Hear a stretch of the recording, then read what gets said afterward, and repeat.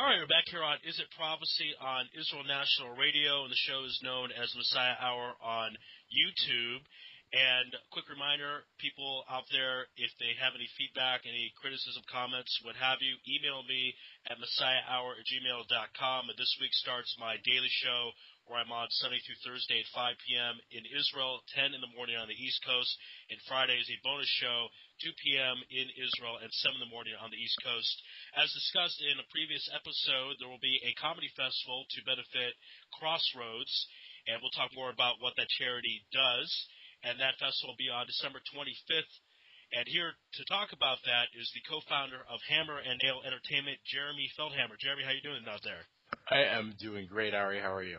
Doing fantastic. So let's start first with Crossroads. So what the comedy show is going to benefit that group. Tell us exactly what they do. Well, Crossroads is uh, an amazing organization that helps uh, troubled teens. Uh, specifically, uh, they focus on the Anglos, the English-speaking teens that have found themselves uh, in trouble. Uh, you know, troubled teens. Usually, it's kids that are on the streets kids that are getting drunk, doing drugs, and they're just there giving them help and support and helping them put them on the right path. They have many success stories, and they really are an amazing organization.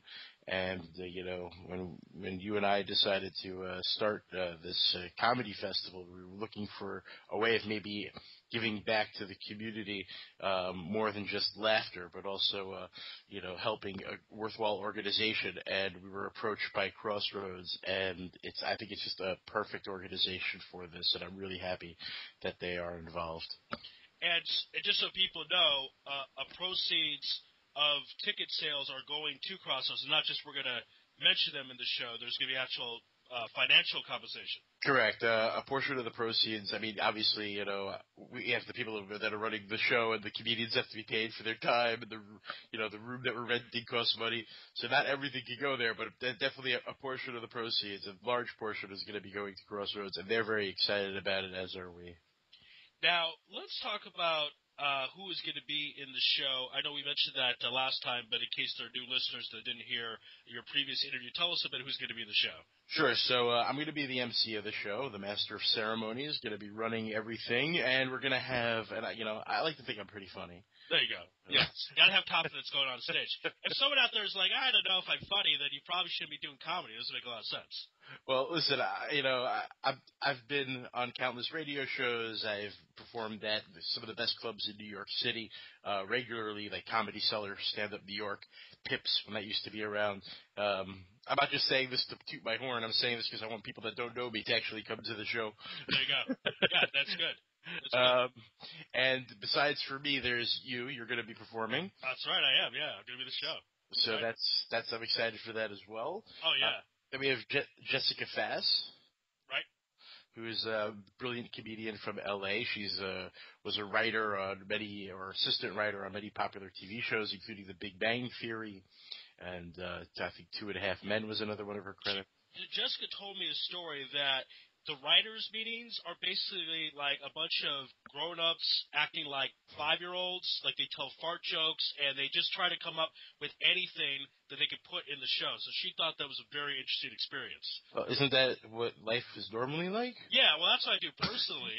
yeah, right, exactly. I thought uh, every day is one big fart joke. But she figured out a way to make money off of it. So uh, kudos to Jessica uh, on that. Yeah, she's had a very good career. She's performed in uh, clubs all over California. Uh, the, the Laugh Factor, I believe she performed there. So she's got a pretty good resume, and sh- she'll be in the show. So you know, if people out there thinking, oh comedy is just a, a male-dominated genre. We, we're going to have a, a, talented female comedian performing in the show, so that's very good. Yep. Um, also, we're going to be having uh, talking about the Laugh Factory. Leo Shemtov actually just placed sixth in Laugh Factory's Funniest Person in the World contest. Uh, he was a semifinalist on NBC's Last Comic Standing a few seasons ago. He's brilliantly funny, uh, totally insane, and uh, it, it's going to be a great show yeah, we're very, very excited to, to have the show and have it benefit Crossroads. And let's talk a bit about uh, the location because uh, that's been finalized. So tell us a bit about that. Oh yeah, the location. We're going to be at the AACI Theater. Uh, that's on Pierre Koenig. Oh, I don't know how the street got that name. Uh, from my knowledge, Pierre Koenig is like some American architect. Yeah. Am I, am I missing something?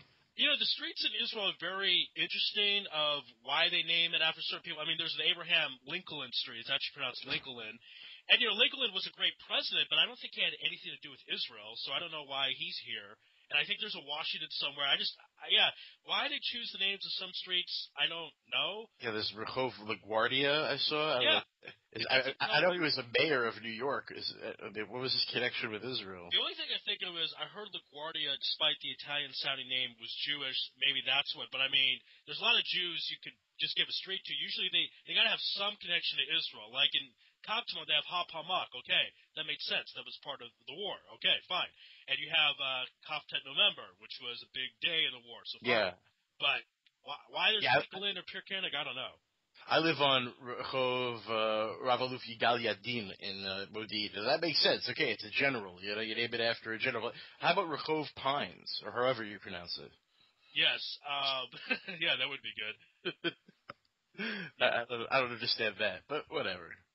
Okay, again, we're speaking with Jerry Feldhamer, the co-founder of Hammer and Nail Entertainment. Talk about the uh, comedy festival on December 25th. Now, we say December 25th. We don't say Christmas. We call it a different name for the show. Tell us about that.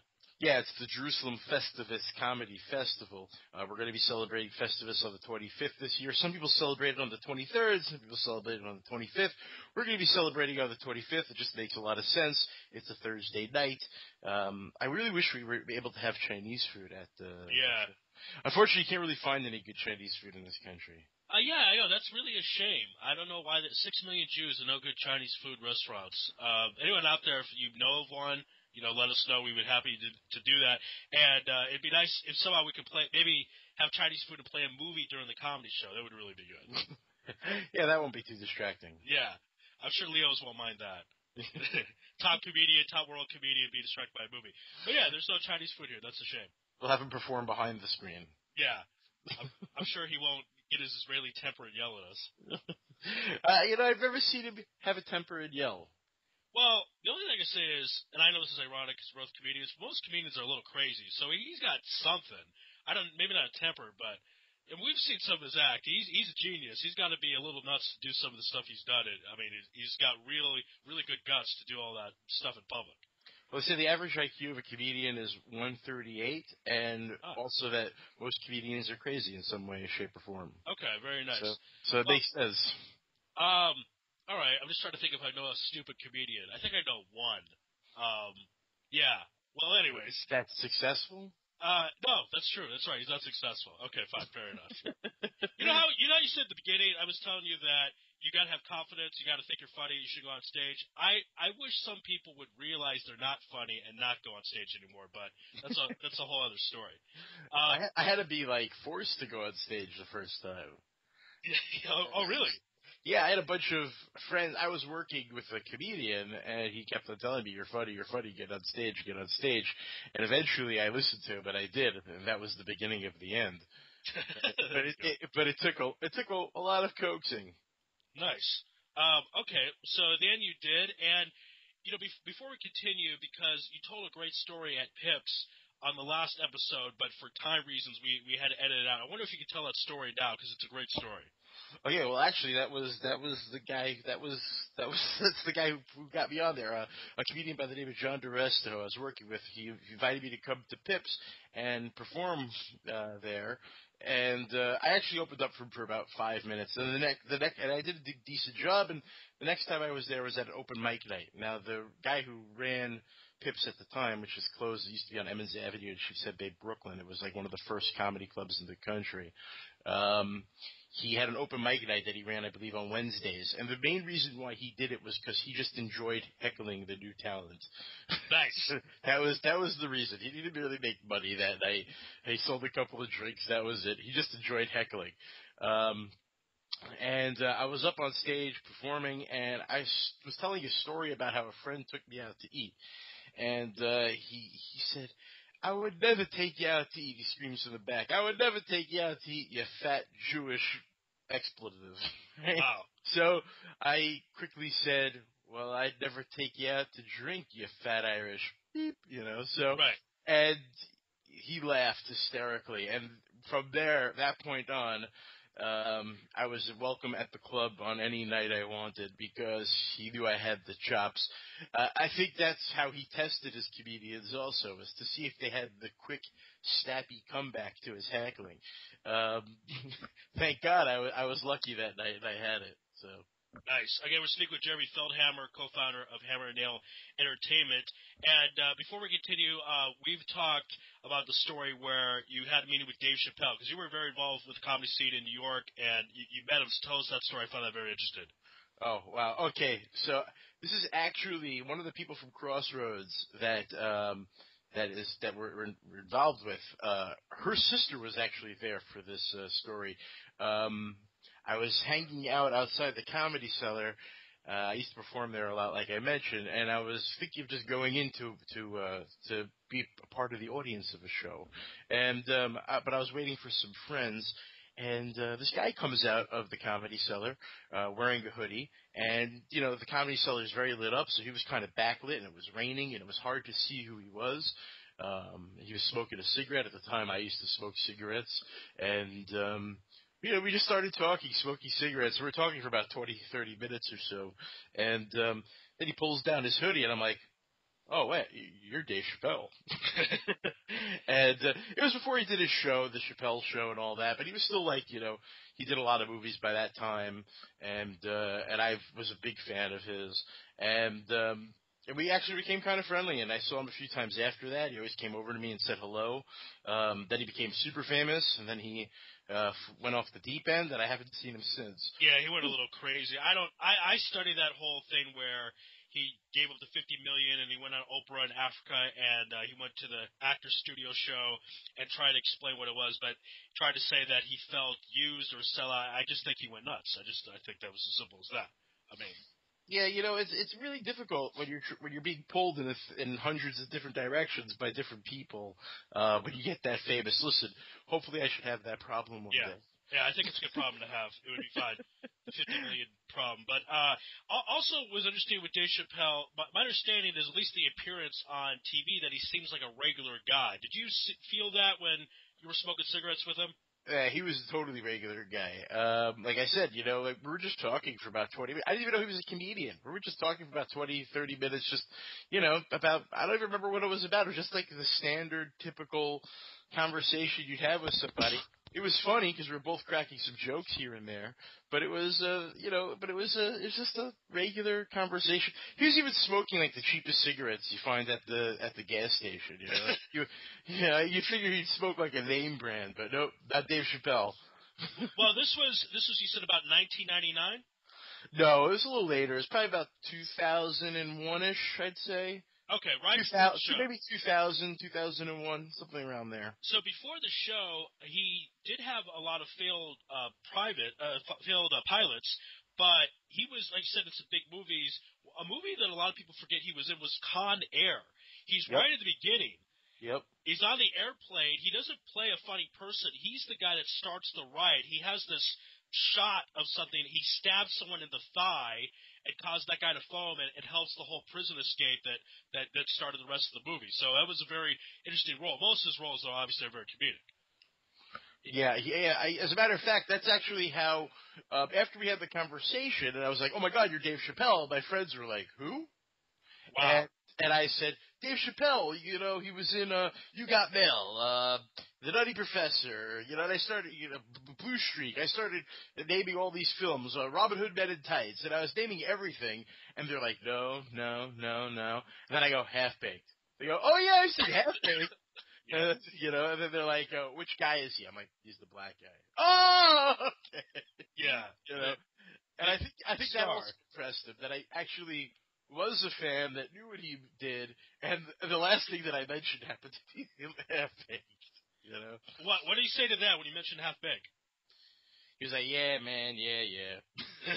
yeah, he didn't think that movie was good. He said that several times in interviews. I always find that intriguing because it's kind of a cult classic, but he personally didn't like it. Didn't like the way it came out.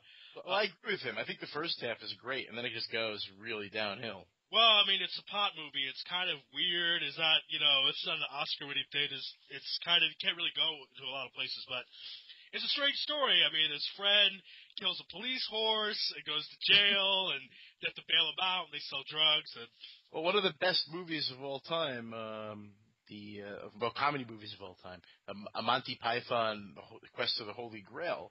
You know, that movie ended by them getting arrested. Remember that? Right. And that's because simply for the fact they couldn't think of a good ending. Yeah. So um, we're not gonna we're not gonna have that problem with our show. We'll have good endings to all our sets. And uh, again, everyone can check out the show December 25th, the ACI. Um, now we're going to be doing a special. This show is airing Wednesday, December 3rd, and tomorrow, December 4th, me and you are going to hit the road and, and meet the fans. Tell us about that. Yeah, so uh, every Thursday night, um, Crossroads gets together. They set up a little booth at different places. Usually, it's uh, in town by the infamous uh, Crack Square, they call it. Yeah. Um, so they usually set up a booth there where they try to do a little bit of outreach to the teens, and they also try to do a little bit of fundraising. They also are participating in the Jerusalem Marathon, and they try to get people to sign up to run with Team Crossroads. Um, so they're there usually every Thursday night. Up until this point, they've been giving out, they've been selling or giving out cotton candy. Um, I don't think they're going to be able to do that this week for technical reasons, but uh, it, it replace and to replace the cotton candy is going to be you and I. All right. And we're going to be there kibitzing with the folks. So um, we would love for people to come out and say hello. Uh, also, you can buy your tickets to the show there. Uh, we'll be giving a special discount on tickets at the uh, at the booth that Thursday night. We're going to be there from about nine to eleven, uh, and we really hope to see a lot of people. Um, and we're going to be signing autographs too. Uh, oh first, yeah. For the first uh, hundred, it's free, and then after that, we will be charging a fee. So get there early and get your autograph, and you get, and we might take a couple of pictures. Usually we charge.